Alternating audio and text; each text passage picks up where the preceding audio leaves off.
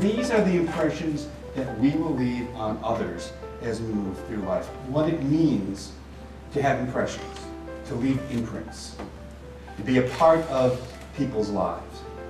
Alfred Lord Tennyson said about the fact that you're the sum of all the people you know. And you become part of their sum.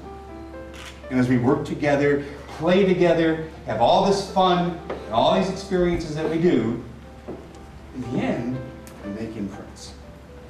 And you see, that's the story, that's the way life works. The baby sitting in the cradle, the young kindergarten kid, the high school senior, the college sophomore. There are dreams that have yet to be dreamt. You need to be aware of the choices you have. Choose wisely. Choose wisely. We reach choice points, places in life where we get to make decisions.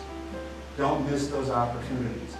Those of you who have opportunities to go and see and experience the world, get out, see things. Look, this has been a lifetime of joy for me.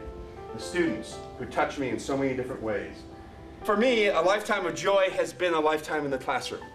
The trick is find something you truly love doing, and great things will happen. I feel like I'm in the middle of a movie. And you know, tonight, can you feel the love? You guys are my legacy, and we're together. We look back on this thing.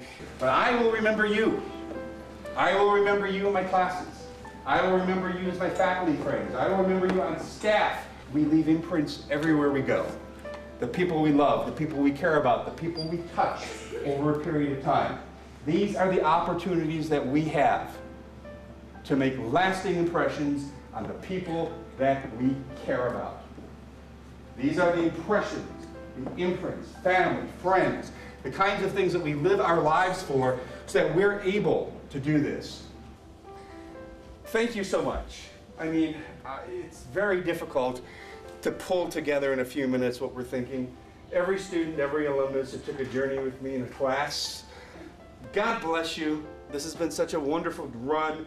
God bless St. John Fisher for the opportunity to be able to do the things that happen in the classroom and in the student groups and all the things that make this work. I just have to say thank you for all of this so much.